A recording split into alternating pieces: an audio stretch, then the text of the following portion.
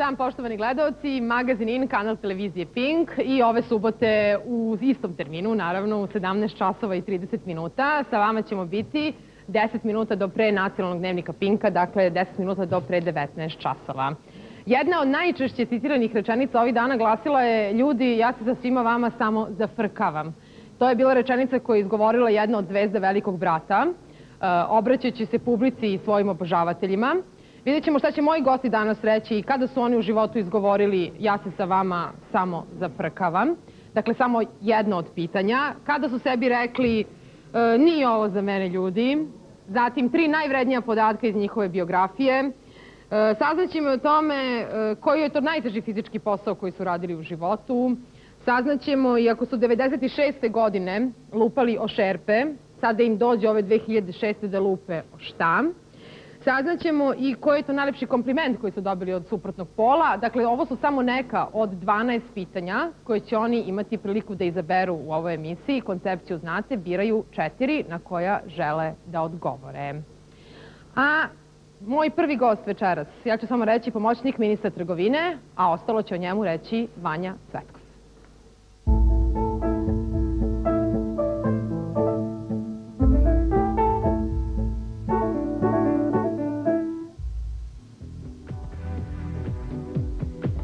Za njega kažu da je mladi lav srpske političke scene, drugi čovek srpskog pokreta obnove, a kada biste ga sreli na ulici, rekli biste pravi japi. Mlad, ambiciozan, uspešan, čovek od stila. Po zvanju magistar ekonomije, po zanimanju političar, ali neobičan. Kako voli da kaže, on je političar koji nikada ne laže. Zar ne zvuči kao sa druge planete? Poznat je po tome da nema dlake na jeziku, a sa govornice skoro uvek odlazi kao pobednik. Možda je i zato već u 30. godini postao pomoćnik ministra za trgovinu. Imam pobednički mentalitet, došao sam da pobedim. Dovoljno je hrabar da prizna da iza uspešnog muškarca stoji jaka i još uspešnija žena, baš kao njegova. Žene imaju, jednu, imaju, imaju nekoliko osobina boljih, bolje od muškarci, posebno kad govorimo o poslu. Žene su mnogo upornije i mnogo su odmerenije od muškaraca. Mi često i ljubimo žice, podustanemo od nekog projekta. Mislim da su žene najbolje deo života svakog normalnog muškarca. U politici ne voli da eksperimentiše, ali u kuhinji rado. Dobro je što nije postao kuvar, s obzirom da je jednom prilikom praveći palačinke zapalio i kuhinju. Detaljno osmišljava i analizira sve svoje nastupe, naročito televizijske, a kako se pripremio za današnje gostovanje vidjet ćete u narednih sat vremena. Preko Pinka u vašem društvu. Najduža domaća serija ikad, po tekstu Stevana Koprivice, a u režiji Milana Karadžića. Da dovate, vi ste to propastili. Mješoviti brak. I molim te, kakav je to to? Četvrta sezona. Tri ili četiri puta, ovo je peti i poslednji. Mima Karadžić, Dara Đokić, Sloboda Mićalović, Nenad Stojmenović, Dragan Bjelogrlić, Andrija Milošević, Mira Banjac i još mnogi, mnogi drugi. Ja stvarno više ne mogu da vas slušam. Mješoviti brak. Da ste poljubili. Nemoj, nemoj, nemoj. Hoće, nemoj, nemoj. Od 7. oktobra svake subote u 20 sati. Otkud sad ovo, a? Samo na televiziji Pink.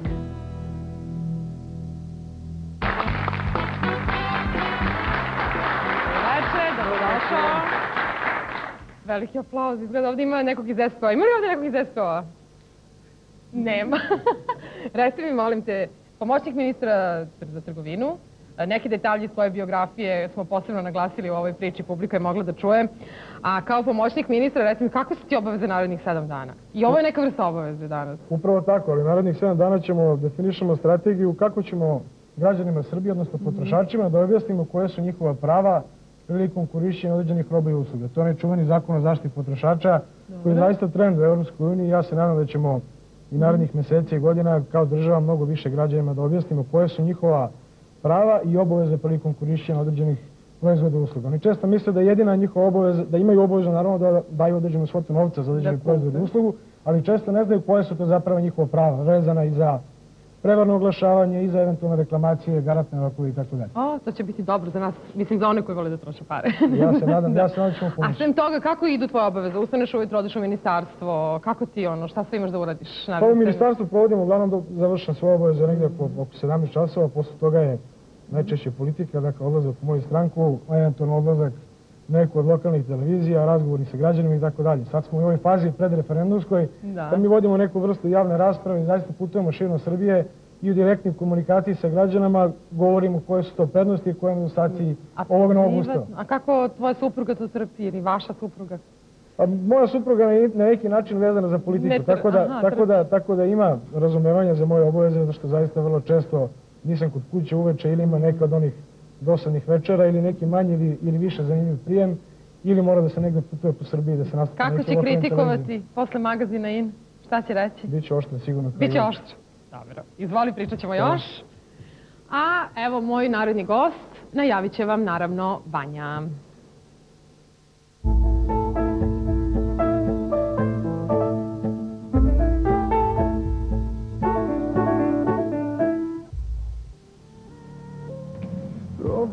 Pre osam godina, kada se pojavio na našoj muzičkoj sceni, kritičari su o njemu ovako pisali. Fin mladić, talentovan, vredan, bit će od njega nešto. Danas, nakon tri albuma i više od 20 hitova, nepokolebljivo drži prvo mesto na svim muzičkim top listama. Ne voli kada kažu da je zvezda i priznaje da mu lepi maniri i emocije sami nalažu da svojim notama vrati romantiku u naša srca. Ja znam lično neke muškarce koji su pesmom Pogledi u tami zaprosili svoje sadašnje supruge i udvarali se devojkama, a znam i devojke koje su tu pesmu proglasile za himnu ljubavi.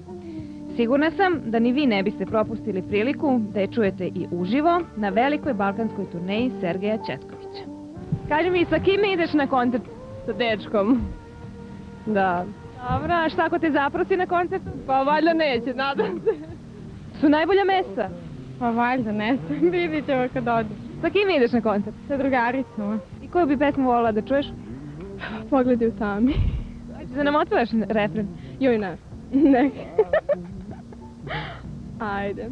Kada odu svi, mi ostaćemo sami. Samo ja i ti. I pogledi u tami. Reci mi da li znaš Da jutro nije blizu. Da ima vremena. Za poljubce u nizu. E, mogu li ja sada da ti poklonim Hello Sok? E, izvoli. Sergej, jel ideš na koncert? Kada odu svi, mi ostaćemo sami, samo ja i ti, i pogledi u Vidimo se 29. i 30. oktobra u Sava centru na koncertu Sergeja Četkovića.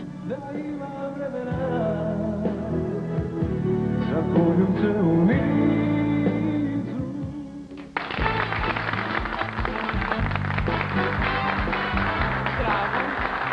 Ti kažem, svaki put mi se čini da si sve više i više. Pa šta znam, otprilike ako imate dvije kamere, onda jedna neka snima do tu, a druga već... Da, molim vas, nikako široki plan kad je Sergej pored mene. nikako. Sergej, e, koncert 29. rasprodat, 30. tu pred kraj. E, ovo po Srbiji ide kako ide, zadovoljan. Super, znači zadnja godina dana veoma, veoma, veoma pozitivna, veoma uspješna za mene.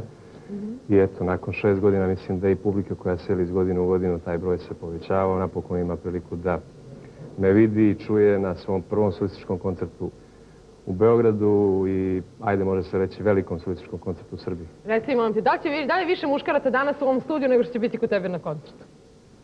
Pa nije. Biće više muškaraca? Biće više jer znam gdje ima žena, tu ima i muškog roda. Ja, Naravno bravo. da je tako. A reci mi samo kratko, ono stereotipno pitanje pred koncert, sa kojom pesmom ćeš da počneš? E, to, je, to bi već bilo ovaj, pokvarilo bi, da, pokvarilo bi iznenađenje, tako da neću ti reći. A druga pesma? A, druga pjesma, mislim da je Grad, Grad. ali nemoj mi vjerovati. Dobro. E, da te ne pitam obaveze narednih 7 dana u haosu si. Kako se to kaže? E, slatkom haosu, ali kad prođe haos onda ću ovaj, već malo više vremena za sebe i jedan veliki odmor. Lepo. Srđana si upoznao pred Hvala, emisiju, izvoli. Ćao. A Vanja će vam najaviti i moju naredu gošću.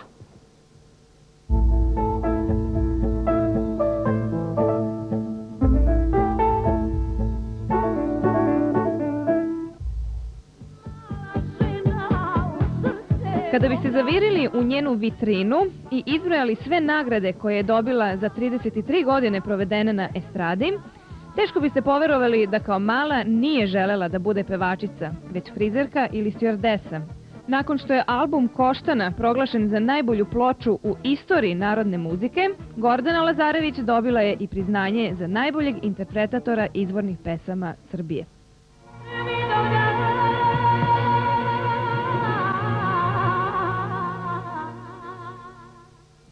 Nedavno je proglašena i za ambasadora i čuvara srpske tradicije, a kada bi se formirala ženska vlada s obzirom na broj obožavalaca potencijalnih glasača, sigurna sam da bi se i za malu ženu našlo i jedno ministarsko mesto.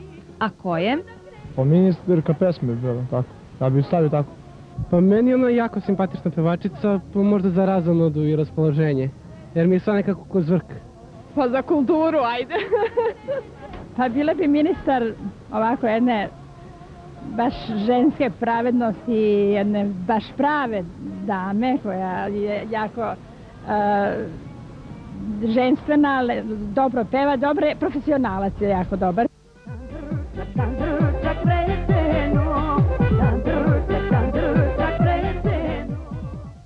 A da se najveći hitovi stvaraju u krugu porodice, pokazuje i novi spot Goce Lazarević koji je režirao njen sin za pesmu Tandrčak, koju je komponovao bivši suprug Milutin Popović Zahar, po onoj narodnoj ko peva, zlo ne misli.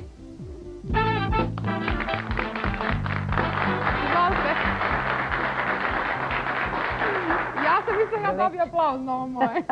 Nećemo da kažem u publici šta smo pričali dok je išla rubrika. E, Goco, i za vas imam pitanje. Narednih sedam dana. Znamo šta će raditi Srđan Sretković, čuli smo Sergej, a vi na šta ćete potrošiti novac? Ste razmišljali, pošto znam da vam je jedna od strasti manija trošenja novca. manija trošenja, sutra putujem u kinu, možete misliti na šta sve mogu, a tamo se može na sve potrošiti, tako da ovaj, ne verujem da se mogu vratiti iz Kine sa novcem koji ću poneti. E pa lepo. Izvolite, pa ćemo pričati još o toku emisije.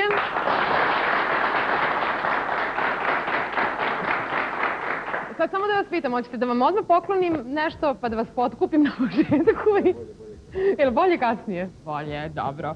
Koncept publika zna, a i vama sam objasnila. Ovo je 12 čarobnih pitanja. Lepa su. Mislim, ja sam ih pisala, tako da... treći ima lijepe oči, baš. Ovo treće. Treće pitanje. Da.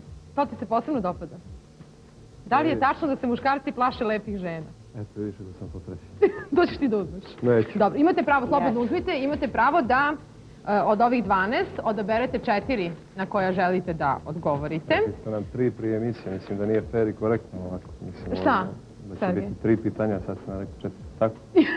Možete prepišete jedno na drugo. Naćemo se nekako. Naći ćete se nekako dobro. A, e se slažete da dok mi vamo pogledate pitanje da mi gledamo malo reklame i publika, pa onda da... Će li biti moja reklama? Hoće, Evo, ja sam počeo sigurno. najviše pričati. Evo ti počni reklame pa da ide džingl, može? Ako su u skladu sa zakonom javnog oglašavanja. Može onda, dobro. Uh, ajde, reklame pa nastavljamo dalje.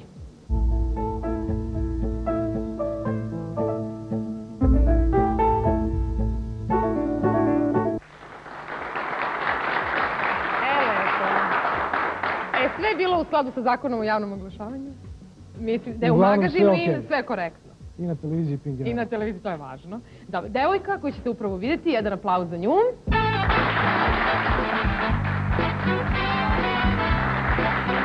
Doneću vam tri broja. Od ova tri broja imate pravo da izaberete od ove tri, tri cvetića po jedan broj.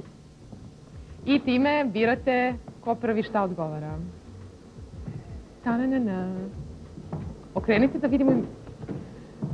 E, srđane. Prvo ti, pa Sergej. Gosto vama šta ostane? To odgovarate. Imate tu olovku pored sebe, slobodno da zabeležite šta vam je ostalo. E, ja nemam. Srđane, koje pitanje biraš? Ja želim da sam imao sreće skladu sa svojim prezimenom. Izgleda da ovdje ova televizija poštuje to ministri, pomoćnici i takve stvari. Ne, ne, ja, ja sam siguran da nisam u privilegovanom položaju bio, prosto sam imao sreće, a? Dobro. Treba odmah da kažem sva tri pitanja ili da, krenem jedno po E, jedno? mogu ja samo da postavim tvoju hemijsku, pošto moju nemam, izgleda mi. Nemam. Izvoli. Hoćeš zapamtiti koja si? Evo, još nisam rešio, sad ću, Ajde. nisam odlučio? U, ja sam odlučila, pa mogu da požujem. da uzmeš, da uzmete vi njegovo mesto. Čekaj da vidim da ovi iz Hello mi nisu bacili neku hemijsku ovde u poklon. Ne bre, oni samo čaše. A mogu ja da se napravim Da. sad, da se, s obzirom da je jedno pitanje je vezano za džentlmena, mogu ja da budem džentlmen pa gosti da dozvolim da prvo on izabere pitanje s obzirom da je dama jedina. Stvarno, pa ajde. Hvala. Može. To ti je političar. Evo ja sam odabrala tri, aha tri, ali da počnemo onda od trećeg pitanja. Dobro, samo recite koje ste odabrali. Broj 3. Broj tri, Dobro. broj četiri, Dobro. sedam i dvanaest. U, vi ste to baš brzo. I 12 ste vi odabrali. Stvarno. Pa ja sve šaljivo. Ja, Dobro. Ovo je emisija zabavnog karaktera. Dobro. Sergej, onda ti si drugi. Šta, samo da kažem koja pitanja, jel? Samo da, ko na kontrolnom iz matematike. Kažeš tačan odgovor. Koje želiš? Hajde, jedan, dva, Polako, polako. Jedan, dva, dva, devet i deset. ovo za burme si izabrao. Pa već si me pitala, pa ajde da prokomentarišemo na tu temu. Da, e, za pa, ko ti je i kako birao burme? Razmisli. Dobro. Dobro. Šta je vama srđane, odnosno tebi Ja sam bio pimpa, ne mogu da biram. Da. Zamolio da mi pomogneš. Znači, ostalo je broj 5. Evo ti zabeležim ovdje. Ostalo je broj 5, broj 6, broj 8 i stvarno si zaslužio ovu titulu. Ko je prvi džentlmen Srbije? Možda si danas bio džentlmen gost. Da, gotovo. Hoćemo onda od vas. Dobro. Prvo pitanje. Da li je tačno da se muškarci plaše lepih žena? Nisam nikad bila muškarac, ne bih znala da kažem. Pošto to svi postavljaju pitanje ženama. Da. Recite sad, iz vašeg iskustva. Ne bih rekla, a ne znam, pošto nikad nisam bila lepa žena. E, pa da. Čak mislim da bolje prolaze one žene koje o sebi ne misle da su jako lepe, jer se one više trude Mhm. od onih koji su lepi, koji misle su bogom dane i da svi treba da padnu u nesvest i da mogu da se unovče tom svojom em, spoljnom lepotom. Ovaj, e, tako da, dosta sam rekla, mislim. A recite mi sad ona jedna teza koju ste rekli da ste, svi znamo, srećno razvedeni, a ste rekli srećno sam razvedena, ne svojom krivicom. Jel To je opet šaljivo. Da. Za, I za svađu i za ljubav je potrebno dvoje, bar dvoje. Znači, ovaj, uvek je negdje istina na sredini i tako ima različitih odgovora. Tako da, ovaj, to je sve šaljivo. Naravno, čo, ja ne volim kao ni ostali da mnogo govorim na svoj račun, mada Mhm. uglavnom to radim, a danas sam, sam se zaklela sebi da neću sebe ovaj, sro- srozavati, ali iskreno rečeno, uvek je oboje krivo. A, zato što srozavati drugi. Ne, Ne, nikad nisam srozavala druge. ne šalim se ja. A recite mi, je li ovaj taj strah muškaraca ima veze sa vašim privatnim životom i sa ovim što ste rekli srećno sam razvedena? Strah od muškaraca. Strah muškaraca od žena. Pa ja uopšte ne vidim da, je strah, da im- muškarci imaju strah. Možda imaju strah od toga što mnogo više ima žena od muškaraca. Kaže se, čini mi se da sam to negdje pročitala, e, za starosnu dobu od 16 do 33 godine ima valjda šest puta više žena, ne, devojaka. I zamislite, oni se plaše jadni kako će sa svim tim ženama i devojkama. Žene su navalentne. Mislim da se muškarci više plaše nevezano da su lepi ili nisu, da su žene navalentnije od muškaraca i da ovaj, oni ustupaju malo se vraćaju unazad zbog teg. Sad, ja to sa svoje tačke, ja kažem, nikad nisam bila muškarac, pa doz- dozvoljavam replike. Sergej, isto pitanje ovo moram da vam postavim. Je li tačno da se muškarci plaše lepih žena? Evo, nadovezat ću se na priču, ovaj, mislim će se gospodin Svetski složiti, samo da nam nije uopšte lako. Jer toliko je lijepih žena, a što se straha tiče, mislim da nema ni vremena za strah, ni mjesta za strah. Uvijek je poštovanje na prvom mjestu i žena kao žena bilo lijepa, bila ovakva onakva, žena je žena i žena zaslužuje poštovanje. Sad strah, to je već od osobe do osobe. Svaka ti valja, bravo! Bravo! Ti Crnogorac, pa tako. Šta sam htjela ti kažem, napunit ćeš ti još jedan Sava centar posle ovoga. Ovo sve PR-a tebi u korist. Hvala. Srđane, isto pitanje. Činjenica da su muškarci mnogo veće kukavice nego, nego što to na prvi pogled misli. I kada pričamo o tome da li se muškarci plaše lepih, uspješnih, sposobnih žena, bit ću najiskreniji i u razgovoru, naravno, ne samo iz svog iskustva, nego u razgovoru sa svojim prijateljima, kolegama, da to zapravo jeste istina. Zato što žene koje su e, uspešne, obrazovane, inteligentne, uspešne u bilo, kom, bilo koje profesiji, one, one za muškarce ostavljaju utisak nedodirljivosti, ostavljaju e, utisak da će muškarac biti loše prihvaćen i čak i ako priđe da porazgovara o nekoj neobaveznoj temi, čak i ako, ukoliko ne pokazuje bilo kakve nam, na- namere Mhm. Muško-ženskog tipa, ali činjenica je, činjenica to, da to postoji i mislim da su muškarci generalno mnogo nesi- nesigurniji od žena. Žene uvek znaju šta hoće i uvek kako znaju da taj cilj ostvare. Ja, a ovi muškarci što te gledaju, šta će sad muškarci u Srbiji koji te gledaju da ti kažu? Ej, Ovo je istina, znaju svi da to tačno. Jel znaju? Dobro. A reci mi, molim te, evo, to su baš rekli, negde sam čitala skoro ovaj, neka generacija starija od mene i moja generacija i vaša generacija i generacija vaše dece, na primjer. Oni kažu, jao, kad dođeš bre na žurku i kad vidiš pet predivnih žena, ti prvo priđeš onoj koja je manje lepa, ova lepa, njoj nikad ne prilazim. Jel tačno to, kad, kad si bio mlađi i odeš na žurku, koje prvo priđeš? E sad to zavisi. Opet, opet da budem iskren, muškarac, muškarac najčešće priđe, priđe e, pripadnici lepšeg pola za koga ima utisak ili percepciju da bih imao šanse za prolaz. Da budem, naj, da budem najiskreniji. E, muškarci se najčešće tako ponašaju, dakle idu tom linijom manjeg otpora. Dobro. Sergej, kad odeš, kad si bio klinac pre nego što se ženi, odeš ti na žurku, koje bi- prilaziš? Prije je bila ovaj, velika hrabrost pustiti e, curi ili dok pleše sa njom, pogotovo u osmom razredu, ovaj, e, niže ili do kukova staviti ruke, onda si već heroj škole i tako dalje, dok se u zadnje vrijeme dosta toga promijenilo i više prilaze žene muškarcima nego muškarci žena. To je moje neko mišljenje. Ima ovdje jedno pitanje posle vezano za komplimente, to ću tebi posle Dobro. postavim šta žene kažu. Ok, idemo na drugo, koji si ti dobio? Sergej. A sad sam ja, jel? Da. Hoću li redom ili da ja biram? Slobodno pi malo tog hello soka, nema sponsor, ništa protiv. Dobro. Može onda. Ja sam ga pokrio ovako, ono, onda se ne vidi. E, najteži fizički, ajde redom, najteži fizički posao koji sam radio u životu.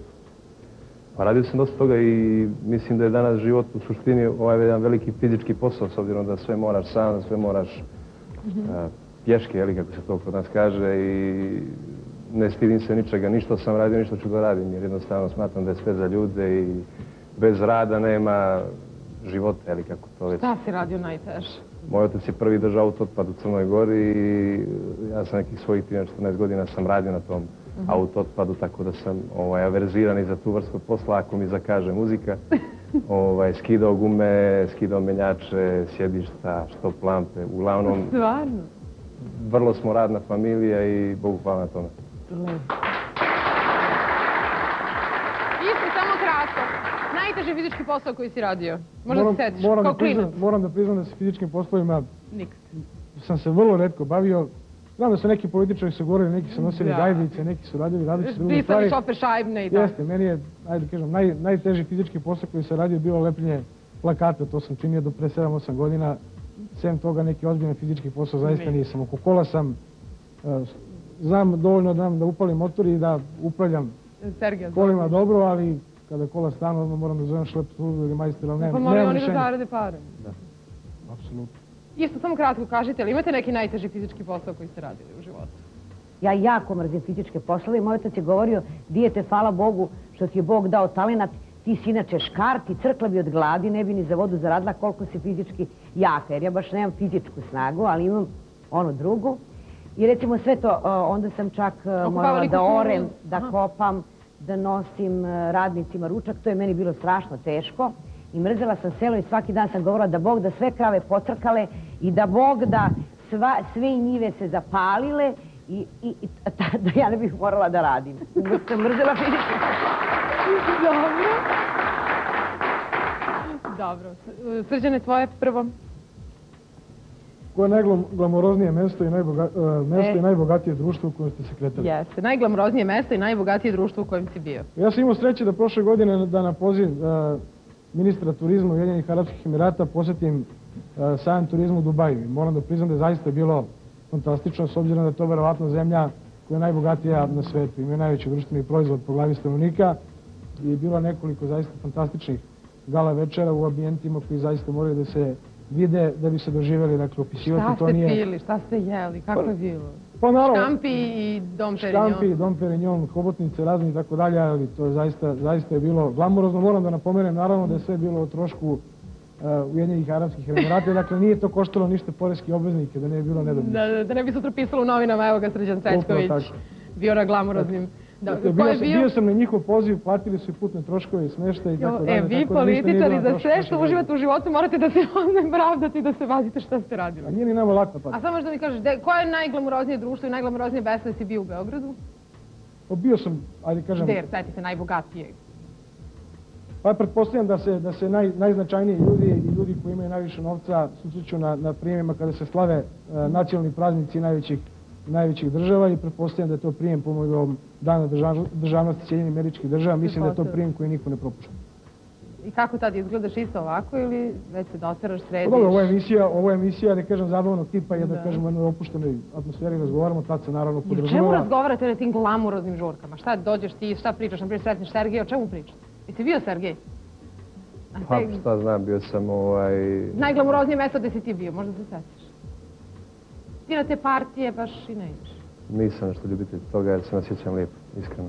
Ne volim nešto taj... Dobro, goto.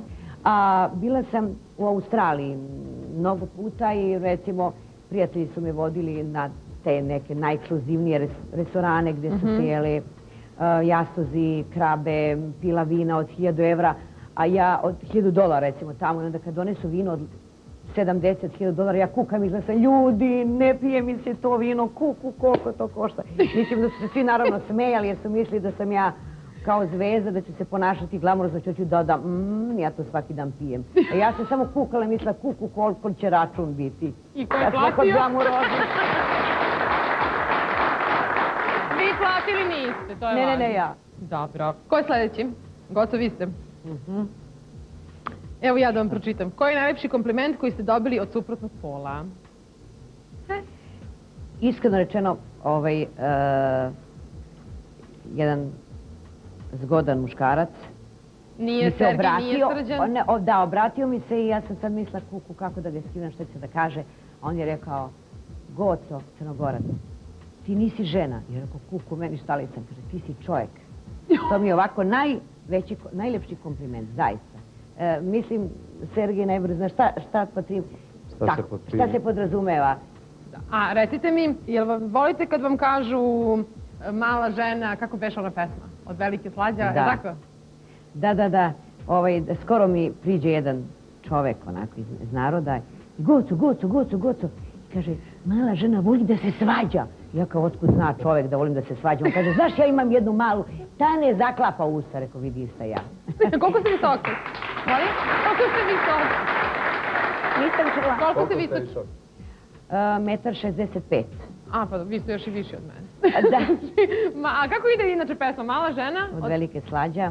Mala žena srce pogađa. I ko je to pisao? Vaš suprug bivši? E, da. Ne, da. Bivši suprug tekst. Pa, iskreno rečeno... Jeste mu vi bili inspiracija ili ne? pa pitajte njega. Naravno da je. Ili jeste, Sergej? 100% ubijen. 100%. Ne. Sergej? Ja ne volim Voliš da- kad ti kažu koliki čovjek? Pa što znam, više mi je to toliko običajno da, da, da ne obraćam pažnju. Uglavnom, evo, zadnjih deset godina, ono, kogod me vidi, o, koliki si, veći si kao, znaš, u prirodi nego na televiziji. Ali mislim, najveći kompliment kad ti ljudi kažu, bravo svaka čast za to što radiš i što se nisi... A suprotnog pola? Pa ima i, znači, sa, sa te strane, znači, sa, od strane suprotnog pola. Ovaj, svaka čast a, što poštuješ žene, poštuješ svoju ženu i što poštuješ ono što radiš, ne mijenjaš se, ne glumiš ono što nisi. A, pa jeste, to je A, pravo. A znaš šta su mi rekla ovdje devojke kada sam rekla ćeš ti biti gost? Da kažem. Recite, slobodno. Re, recite, sad smo navikati od komplimenata. Rekli su mi, ja, ponje divan mladić. A onda posle garderoberka mi je rekla, ja, ponje. Ali sa ovim izrazom lica, on je tako lep. tako je rekla. Jel ima takvih žena? Ima. Ima. Ima, ali ja nešto ovaj, uvijek dobijem neku čudnu boju, mislim da je to da je vaše crveno ili je to... E, uši mu ovaj, ne budu crvene! Uši su mi inače kao... Pa šta će žena da mu kaže, prestani? Žena Hvala, može da hvala. bude samo ponosna, je li tako? Tačno, Da. Tačno. Dobro, ajmo sad slobodno biraj pitanja, pređemo svoj kompliment. Sad sam ja, jel? Ovaj, ja idem redom. Tri razloga zbog kojih bih volio da se vratim u djetinjstvo. A, Ja, e, ti si sve neka tako imam, ne tri, imam milion razloga Ajde. da se vratim u djetinjstvo, jer je djetinjstvo ovaj, prije svega mjesto i svijet u kome nisi opterećen glupostima i brzinom života kao danas. i djetinstvo je, barem moje djetinstvo je bilo toliko e, neiskvareno, e, toliko maštovito, imao sam znači milion raznih e, varijanti kako sebi da ispunim dan. Ali pouzdano znam da ti recimo neke svoje prve nastupe koje si imao sa 8-9 godina si pevao, meni su neke Ne moje koleginice E, rekle, kažu ista koreografija sa 8 godina i je- danas. Je tačno? to. Ist- isti stav. e, Hoćeš da nam sam- pokažeš kako je to izgledalo? Molim te, nemam taj snimak da pustim, ali kako Pa si ne bih stavio? ovaj... Slobodno. Pustite bilo koji snimak ovo skorijeg, jeli datuma, ništa Isto. se to nije promijenilo. Samo što sam tad mikrofon. imao malo dužu kosu, isto su mi crvene bile uši kao i danas. I ovaj, imao sam malo veće, jer su tad zubi bili jeli, u rastu, pa sam imao prednja dva zuba malo veće nego, nego obično danas već sve to došlo na svoje. A reci, nisi mrdao, koreografija Ne, evo, ovaj. pokaži slobodno. Hvala mi je bubica. Stvarno. Je. Pazi, sva sreća što ti je Bog dao, A nije nego, ne samo veliki stas, nego veliki glas. Pa- pa ja to kažem na tome. Ali opet s druge strane ljudi kao pa zaigraj pa uradi nešto. Pa Meni je to totalno, ja sa svojom visinom ne vidim sebe kao nekoga ko se, ne znam, ja lomi na sceni i tako da. dalje. Ovako je lakše i sigurnije po, po članove bendu i po publiku. Da, reci mi, a jel igraš, ali imaš obično na žurci tako da kreneš da nekad počnem da se ovaj, Glupiraš. ono, glupiram, ali vrlo je to kratko. Dobro, lepo. Srđane, tvoje naredno pitanje. E, Ja sam dobar komšija, pa tri tačke. tri, da. A moram prvo da kažem, zaista ja imam dobre komšije i vrlo, vrlo, ajde kažem, lepo međusobno komuniciramo i dogovaramo se oko onih tekućih Mhm. nekih stvari i održavanja, vezanih za održavanje zgrade. Znate kako je problem, kao ko će da skuplja novac kada se pokvari lift? Da.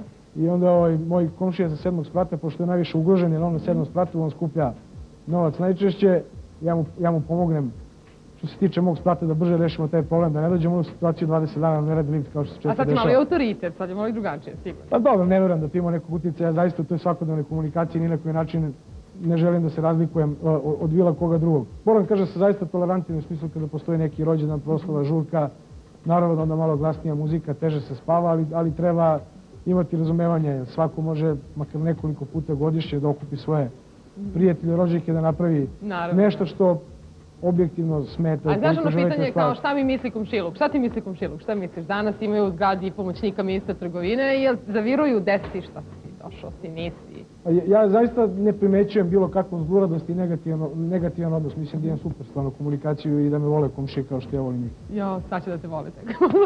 Nisi je dobro. Šta mi misli komšiluk, Sergej? Šta ti misli komšiluk? Šta misliš? Ja se nadam sve najljepše i najbolje.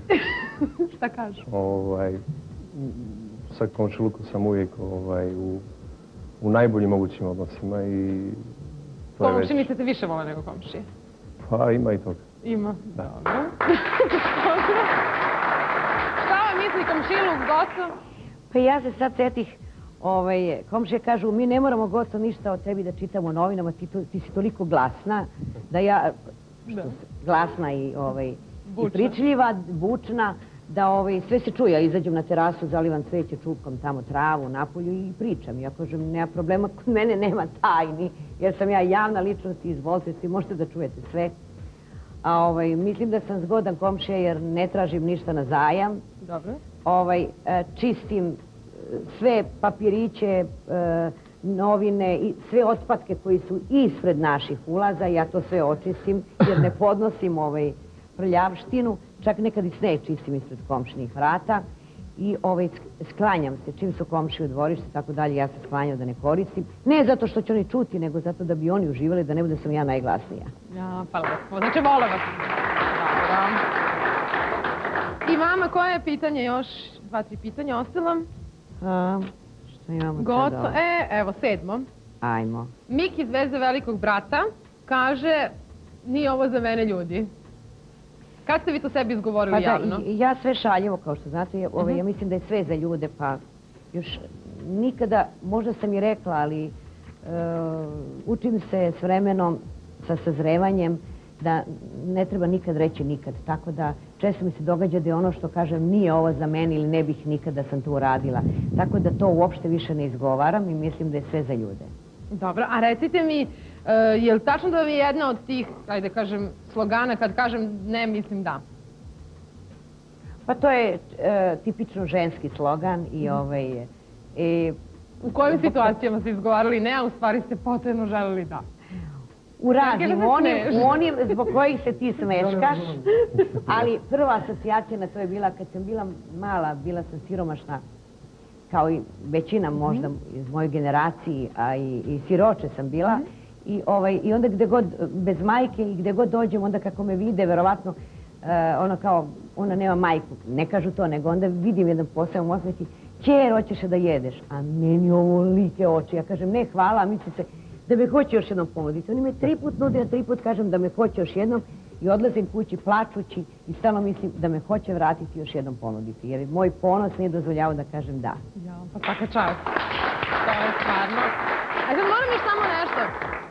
Jedna od najčešće citiranih rečenica Zvezdi velikog brata koja je izuzetno gledan jeste e, čuvena rečenica jednog od Zvezdi koja je rekao ja se bre ljudi sa svima vama samo, sad citiram, zezam obraćajući obožavaocima i publici. I kao, nemojte mi preuzeti mi tražite ni autograme ni ništa, ja sam tu još dva, tri mjeseca, zaradim neki novac i nema me. Kad ste vi onako imali taj moment i koliko se sad metaforično zezate sa publikom i obožavaocima? Mislim, nisam iz one priče za uzmi pare i bježi kao, znaš, aj sad, sad si tu i prevari ljude, zezaj se sa njima i to je to. Jednostavno, mislim da šest godina, tri CD iza sebe i neko- mislim, ne samo što se bavim, nisam solo karijeru počeo, znači prije šest godina već mnogo, mnogo prije toga, tako da bolje polako, ali sigurno i da to I traje. kad ćeš da se povučeš? Nikad. Kada budem osjetio priliku za to i kada Pa ja te sad pred solistički koncert prvi u životu pitam kad ćeš da se povučeš. evo da napunim taj još drugi sat centar i... I ljudi neki da život. Ja mislim će Sergej otprilike kad i Tina Turner. Kad i Tina Turner. A, da se Bože boriš s publikom i srcem ceo život. Da. Da. A, hoćeš sad nešto od srca da nam pevaš ili da nešto slušamo spot? Ja bih radio da gledamo i slušamo spot. E, stvarno? A mi, a mi bismo radije da pevaš?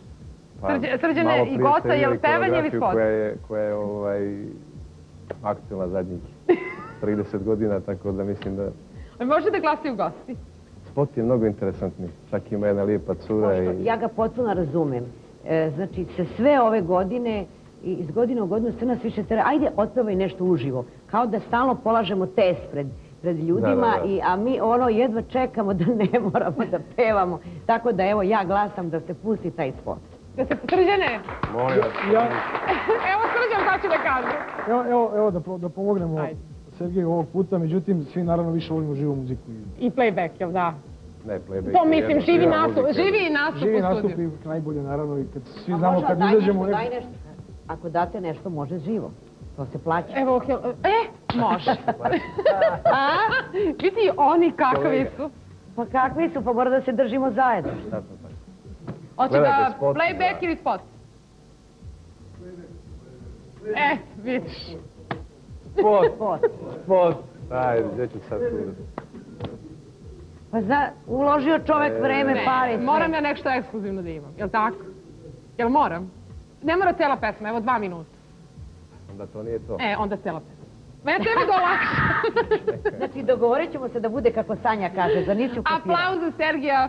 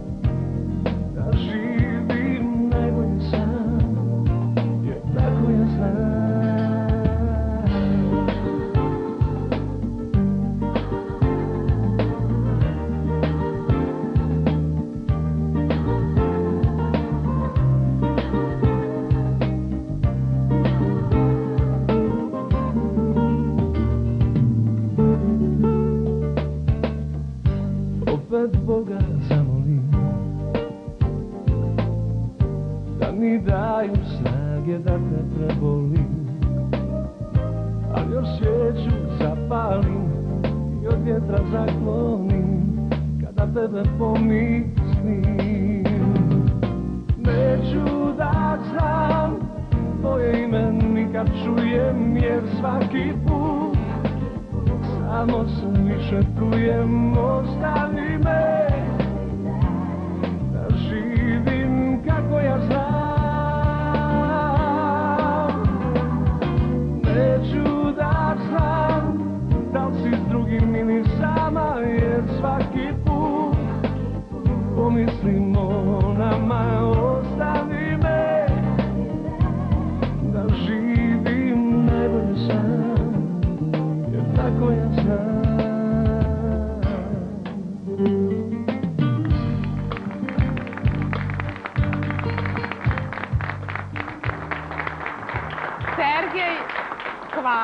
hvala. E, vredilo je. Ne, izvoli, izvoli, imaš još dva pitanja. Šta bilo prijatno, doviđenja, prijatno. Hvala Ne. također. Sergej, pomisli sve pas od narednih pitanja. Gotovo, da. I Sergej, samo da ti kažem, a to je stvarno će ti biti, kom... jedva čekam tvoj se dobro koncert. Ne, ma, ne, ti si prelep, tu nema priče. Dobra je koreografija. A to, to, to. Jesi primetio taj rad? Bilo je još malo, pa si kao sa osam Vježbao godina. sam ovaj malo desno. A kako ćeš na koncertu? Sve vreme... E, to je već tajno. Znači- već pripremio iznenađenje. Si na časove? Biće striptiz. I striptiz? Ma nemoj da se šalim. E, ali jedva čekam tvoj koncert. Sad kad sam čula ovu pesmu, stvarno sam shvatila da jedva čekam taj 29. Samo da, ne, ne samo ja, nego i publika. I ja. I ti jedva Da. čekam. Da prođe. Da, ne da prođe, nego da se desi, jer znam e, prvi moj veliki solistički koncert, ako mogu tako da kažem, jako je pozorište, Crnogorsko pozorište u Podgorici malo, ali je za mene bilo znači enormno veliko ovaj, e, koncert humanitarnog tipa, znači odradili smo za muzičku školu Vasa Pavić, koju sam ja pohađao i znam koliko me to Da. držalo skoro do, mislim još me drži, ali čekam Sava centar da napunim bateriju onda. Iskreno ja isto pravo da ti kažem. Dobro, aj odmah si spreman da odgovoriš na sljedeće pitanje. Tek sam sjeo, ovaj, sad sam pjevao, jer može neko U, sad si se napevao. Šta je sljedeće pitanje? Ko vam je i kako birao burme? Aha. To ćeš ti brzo da odgovoriš. Moj kum Božo Bulatović, koga ovom prilikom pozdravljam i mašem. Ovaj, 99. mislim da je bio januar mjeseca, a vjenčanje je bilo u martu, 14. marta, tako da smo ja i moj kum ovaj, pogubljeni jeli, u prostoru i vremenu ja što treba da se ženim, a on što treba da kumuje, iako je to prvi put, ovaj, obilazili znači, sve te lokalne zlatare i izabrali prave burme i to je to. Da. Iako je nosim na lijevo ruke, ono, Ko je sljedeći? E, Srđane. Ovo mi je najteže pitanje. Jo, kako je ostalo, molim te? Ne, do- došao sam, došao sam u studio i, i, i nakon, nakon ovaj, tuširanja sam zaboravio da stavim burmu, ubiće me žena. A sad si ti bez burme danas. Zaboravio sam, sad ne, znam- ne znam kako ću kući Da ti posle emisije. da ti kažem, znaš, tako je jedan biznismen popularni, isto tako došao u ovu emisiju bez burme. To su svi primetili i posle godinu dana se razveo. Ja sigurno stoko ne neće. Šalim se ja. Tvoje Mene nemoj da pitanje. pitaš, ja nisam udata, kao što se zna, nemam burmu prema tome. Ništa se još nije desio neko iskreni obožavalac koji vas je ovako ozbiljno zaprosio. Još sam mlada, kažem. Jel tako? A hoćete ponovo? Hoćete ponovo da birate burme? I ne. Hoćete ponovo da birate burme? Ponovo da biram burmu. Mm, Meni to nije bilo nikada važno, burma kao burma, već Ali samo znate na šta ljubav. mislim. Samo ljubav. Meni je samo to važno. Dobro. Svoje sljedeće pitanje. Sigurno sam bolji čovjek od koga? Koji su tvoji aduti u odnosu na drugi? Šta misliš kad govoriš o sebi? Ja sam iskren i otvoren i nisam od onih ljudi koji nekome ostavljaju nadu ili nedoumicu da mu možda mogu oko nečega pomoći ili zapravo ne mogu pa da posle izbegavam da se nekom javim na telefon i tako dalje. Ja onome svakako mogu da pomognem, to učinim e, od srca i odmah kažem situaciju kakva u istinu jeste. Da li nešto mogu, a nešto ne mogu. Ako se neko naljuti, e, zaista Od koga si bolji čovjek onda?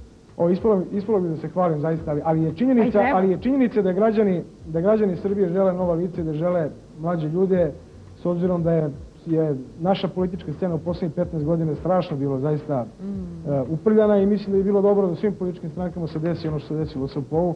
Mi smo se transformisali, modernizovali ne samo ja još nekoliko mojih kolega i mi zaista imamo najmlađe rukovodstvo. Ja se nadam da će to se dogodi i drugim političkim strankama, zato što mi mnogo tolerantnije komuniciramo i nismo opterećeni e, suetama i nekim problemima iz prošlosti. A Mislim da kad je to... kum ti je Vlajko da Senić, je li tako?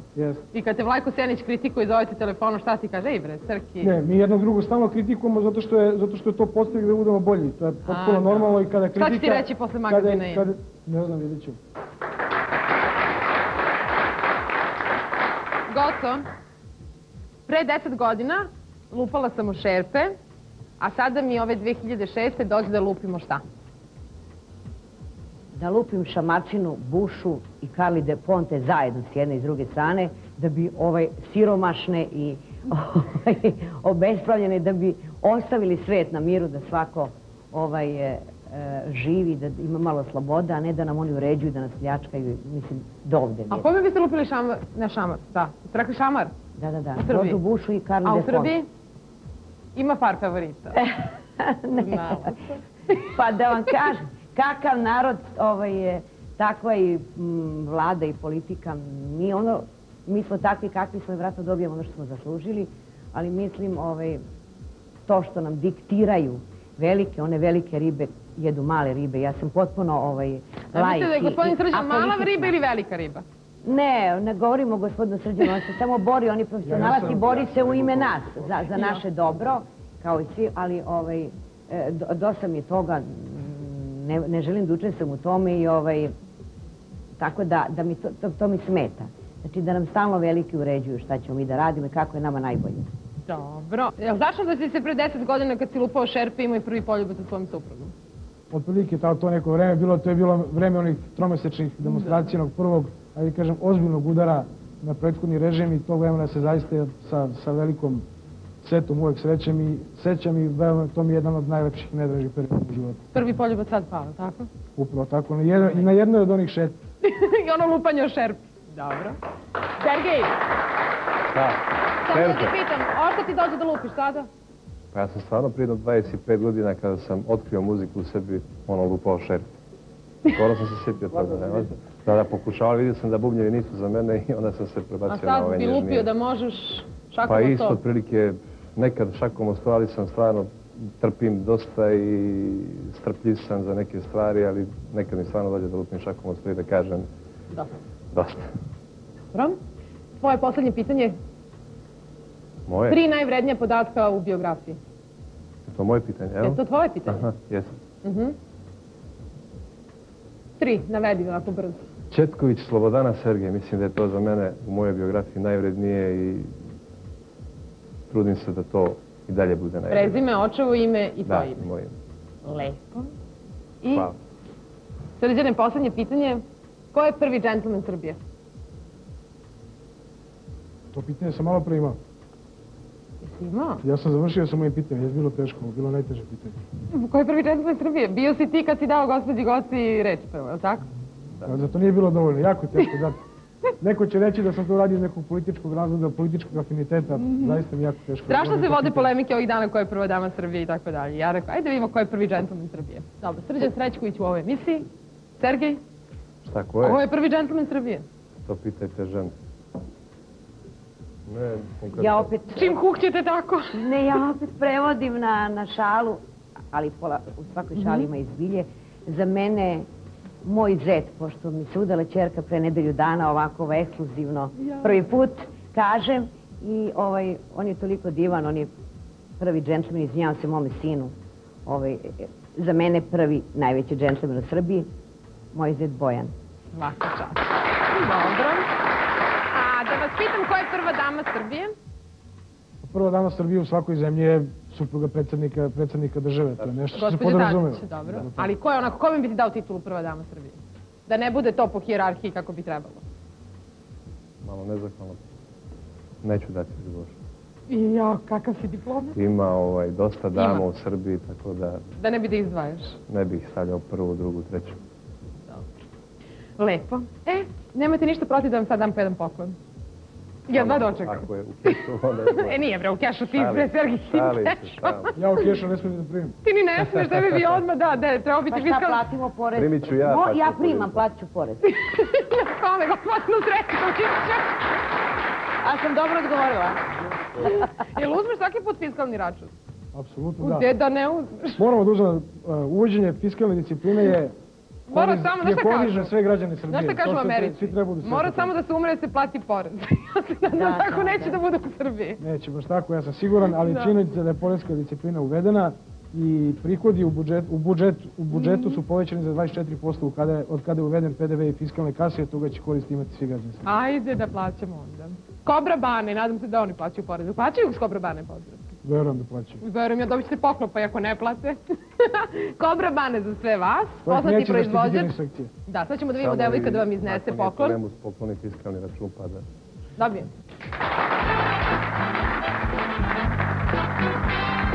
Evo ovako. Poznati proizvođač kožne galanterije, novčanici, privesti, muške i ženske torbe, mogućnost izrade vašeg logotipa na njima, maloprodaje u ulici Gavrila Principa 29, putem interneta, kobrabane.co.ju. Jeste zadovoljni? Šta su vam dali? Možemo da vidimo. Ja sam dobio tri, zlatne kartice i, Pa i kartu za koncert. A, da, hvala vam puno. Od čega ja sada platim porez? Ajde. Eto, ja sam rekla i stalno vama daju prazne novčanike. A te, daj vidi ne. je kontrola za naučan vrlo lepo, doduše očekivao sam ovdje i kartu za koncert, ali ne vidim. Biće. Sergej, gde su karte? Karte su na blagajni Sava centra bile servisa Ticketline i tako da.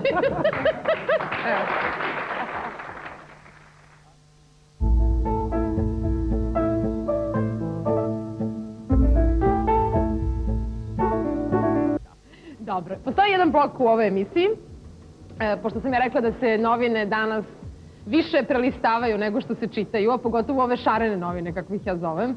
E, mi smo izabrali neke od fotografija, a neke ste nam i vi sami doneli, koje su se o vama možda e, najviše komentarisali, ono što biste vi volili da se istakne. Sad neke smo, od nekih smo dobili, a neke smo mi sami birali. Jeste spremni da zajedno prokomentarišemo i da publika vidi neke od vaših fotografija? Može? Može. E, Znate šta smo vam izabrali? Gotovo? Sergej? Nemate pojma. Nemam pojma. Srđan zna. Da vidimo samo čije su prve. Jel može? E, Srđan tvoja. Koja je ovo fotografija i gde? Ovo je e, fotografija sa petog sabora, odnosno kongresa Srpskog pokreta obnove, kada smo kada sam izabran za potpredsjednika stranke i tu su moje druge mlađe kolege koje u ovom trenutku vode SPO. Dobro. Imamo puno energije i verujem da ćemo uspjeti u onome što radimo. Ko je sad se ovde Vlajko Senić, tvoj kum? Hoće da nam još predstaviš E, ko je? Anđelko Trpković, direktor stranke i direktor Beogradskog sajma. Tu je Petar Zanasković koji vodi naš PR. Samo malo još i... I naravno predsjednik moje stranke Vuk Drašković. Evo već sledeća fotografija, ovde vidimo. To je moja supruga naravno. Supruga se bavi, ili tajna čime? No, bavi se marketingom, ona je direktor marketinga na Beogradskom sajmu. Jel ti daje, kad ti drugi kažu beži iz politike, a ti ona daje podršku? Ne, ona mi uvijek davala podršku, čak i kada je izgledala da je nemoguće da se vratimo na političku scenu i na tome sam je naravno jako zahvalan. Ukoliko nemate podršku od supruge za ono što radite, život vam se pretvara u pakao. Marija se zove, tako? Možemo sledeću. Gde ste ovo? Gde si ovo? To je jedan od, to je jedan od skupova Srpskog pokreta obnove u Sava centru, jedan od onih koji smo ih imali na, na stotine i stotine. Gospođa Drašković, Vlajko i ti.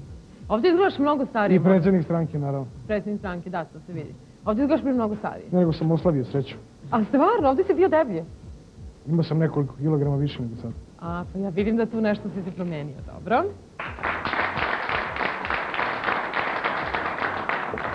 Sergij, kako ti ovo poz? Jedna od mojih poza. Malo, malo više to dođe desno, jel? Da. E, Budvanski festival ove godine. Moj prvi, da kažem, koncert u okviru Budvanskog festivala u revijalnom dilu kao specijalni gost. Jesi ti uvek Tako. ovako unosiš? Ne, tu sam već bio dirnut, vjerojatno ovaj, emocije su uradile svoje. A, ovo mi je A jedna, evo i ovo mi je jedna od e, najmilijih, ako mogu, ili milijih emisija ovaj, u kojima sam bio kod Leje Kiš. Šta ste zamazali ovo nešto? Isprskali su me šlagom, ali sam ja posle to na jedan ovaj, mnogo lijep način vratio. Šta si radio? Leji, ovaj, isprskao sam je svu šlagom. Stvarno? Da, na kraju emisije. A, I nije, nije, nije mogla da vjeruje da sam to uradio, ali je...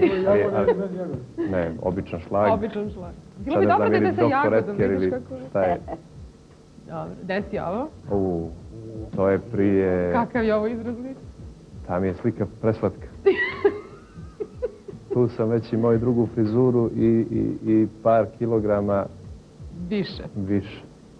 Boga mi više nego To je pa. Budanski festival. Da. Pre koliko godina? Prije... Postojim ja mislim da je bila pjesma. Ili Ljubav i prokleta, ne znam. 2004. 2005. Pa sladak si, jel? Takav sam ja. Takav. A ovo? A ovo je sa promocije e, novog CD-a u Hayatu Wellingtons, klubu Wellingtons. E, mislim da je ovo Marie Marie. Jeste. I opet su mi uši crvena Pa ja ne mogu, ja sam sad htjela da ti kažem. Takav sam. Ti kad god sa ženama treba da se pozdoriš, tebi se crvene uši. Što ću? Ej, To je samo dobra cirkulacija. ne? jel? Da. Znači da je zdrav, potpuno. Da. Dobro, ajmo sljedeća.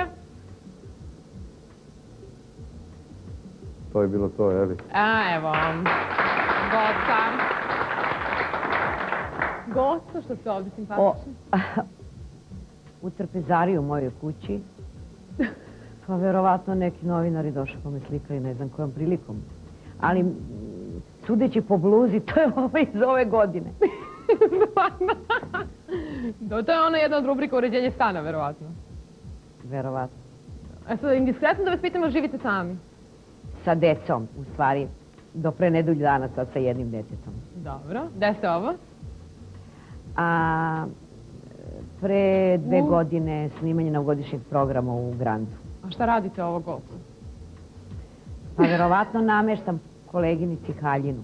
Mislim da je to Snežana Đurišić. I nešto joj pomažem, nameštam rajfeštus ili ne znam šta.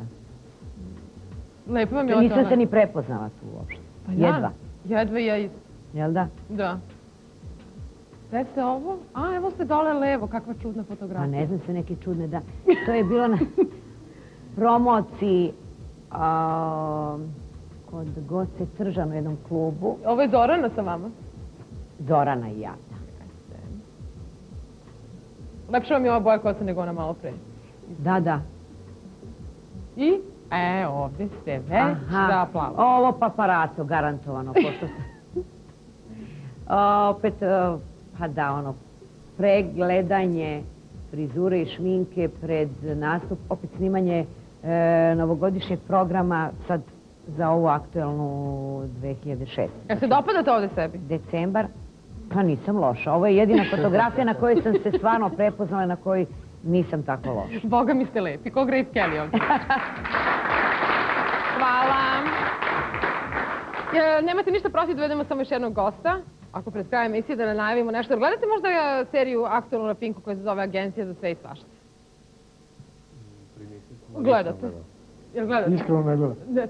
Ako treba da Ja kažemo da gledamo, onda gledamo. Nemojte da kažete, nego kažete da li gledate. Ne gledam skoro Ja bih vam rekao da gledamo se bolje ćete mi pitati nešto za tu seriju pa sam morao da kažem isto. Dobro, e pa eto vidite.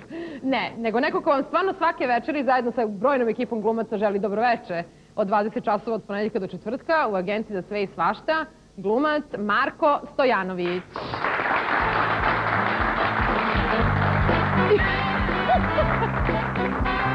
Dobar dan, teška vam ova vrata. Teška, jel da? Dobar, Dobar dan, na moje dan, mesto.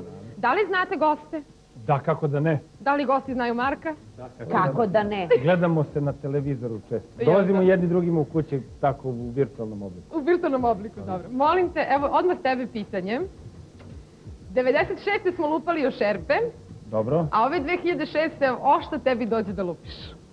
Dođe mi da lupim pip, pip, pip, pip, pip. Ne smijem da vam kažem javno. Stvarno. Zašto? Zašto? Pa kako da vam kažem? Ovaj, očekujemo od naših političara da nam malo poprave život jer zato ih biramo. Nemoj jel mnogo da ga diraš tamo opet se da prene Pa neke izvinite, parole. da radim kad je tu? To, Dobro. čovjek je to po struci, pa molim lepo, i ja po struci dođem, zasmejavam ljude. Dobro. Izvinite, uvek mi kažu, aj nam ispričaj neki vid. Evo, aj nam sredite malo život. Jel tako? Pa jeste, slikari mi kažu, aj mi nacrte nešto. Pa evo to. Evo, znači li mi to ča, ča, Izvinite. O, pošto nam svake večeri stvarno ulaziš od 20 časova u kuće, kao Hitler, kao Tito, kao... Da, Stalin. Taljin. Pa je to neka pozitivna lik i svi ovi negativni. Evo, pitaj ga. Sve ovi negativni da podsjete narod kako je to kad su bili ti neki rat. I psihijatrijski bolesnik.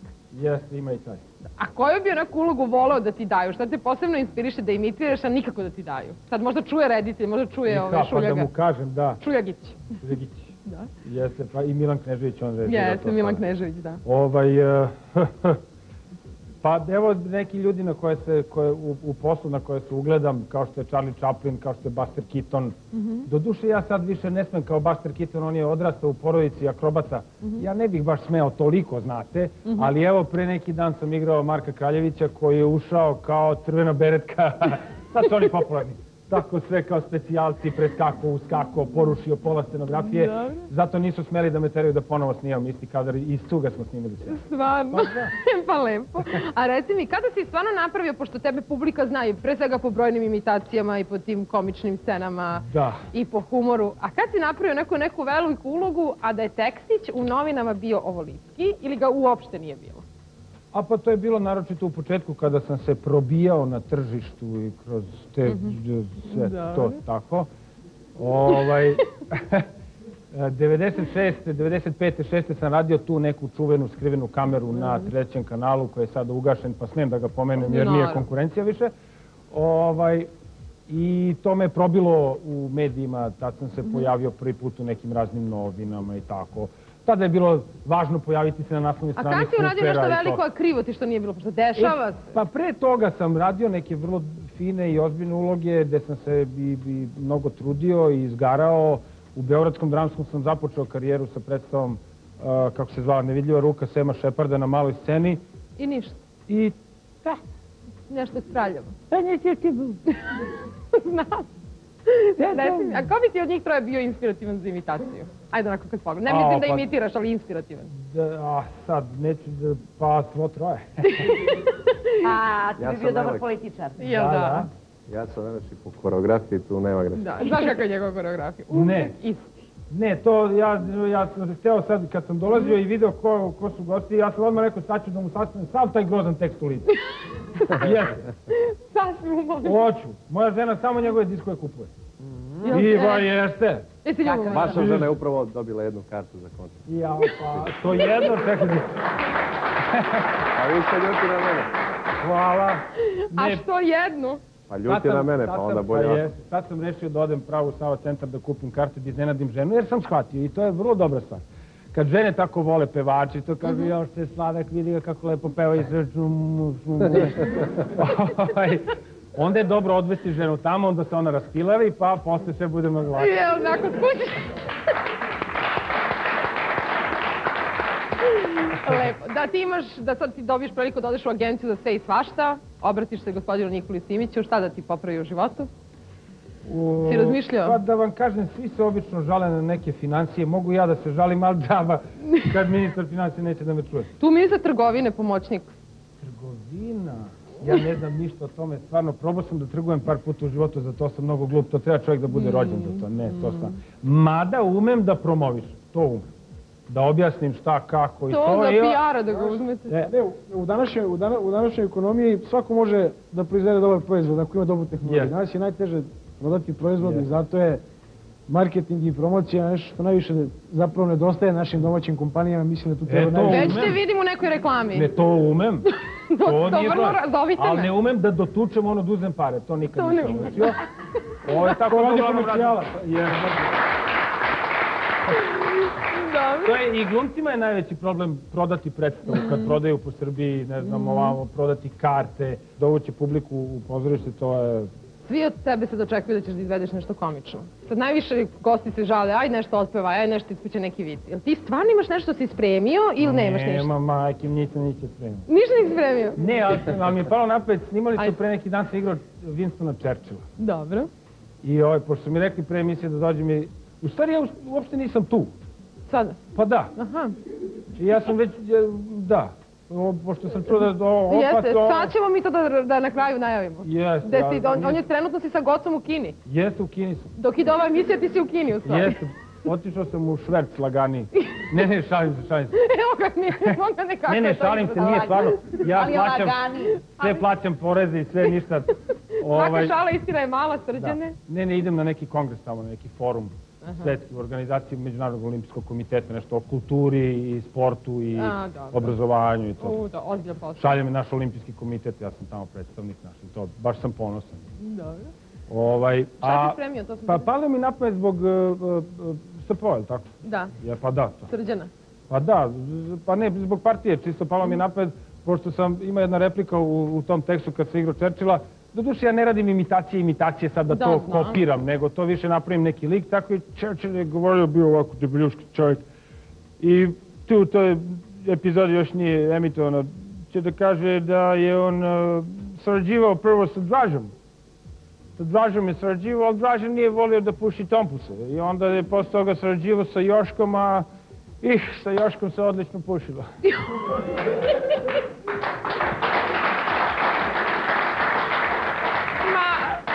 nek si ga rekao. Pa mislim kad... Nek ide život. Ja sam do duše borac protiv pušenja i ja savjetujem mlade ljude da ne puše i to da A kad se mora, mora. Da kažem pravo, Churchill, da. E, Karling je jedan, ili carving. Karling? Karling je jedan od sportova. Znate koji je sport karling? Evo, to je za sam kraj.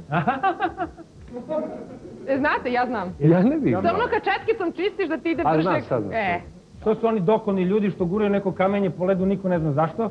I još oni dokoni što, što čiste taj led bez veze nekim četkama. E, to je taj sport. jesi čistač ili si gurač? A, do duše je, i svi moraju i da čisti da guraju. Normalno da kad gurnu moraju da počiste posle. onda.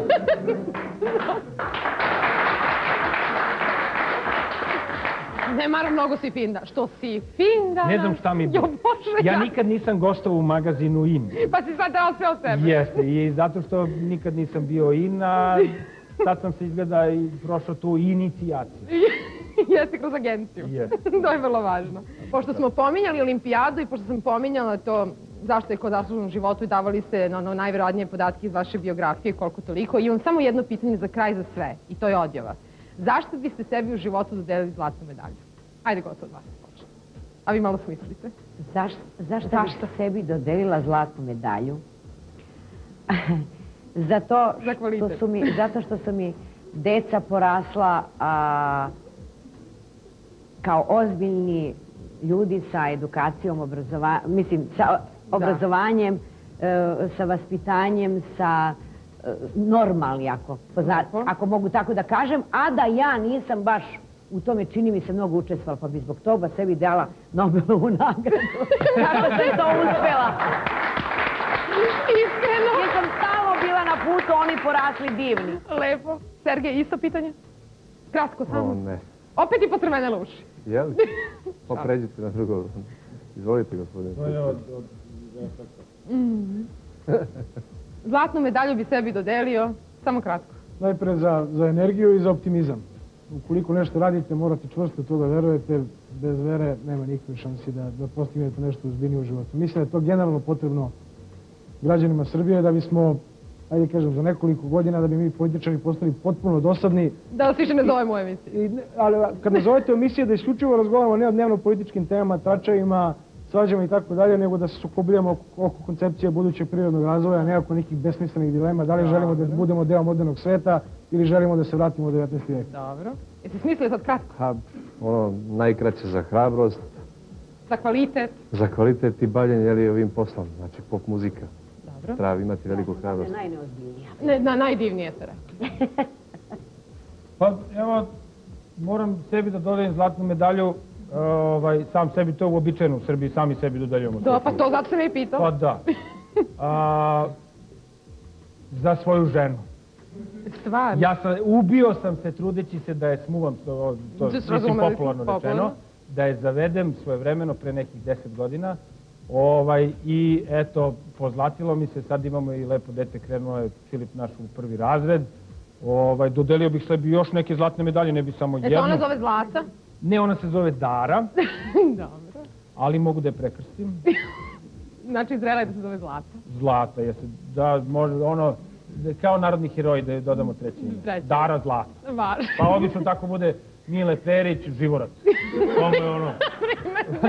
pa tako su bili narodni heroji, imali su ta tajna imena. Jeste. Tako ću Zlatu ja da zovem, da, eto, Pozdravimo Filipa i Zlatu, Daru. Daru. Hvala vama što ste bili gosti. Tu iza vas se kriju neki super pokloni od Hello Soka. Možete slobodno da zvirnete.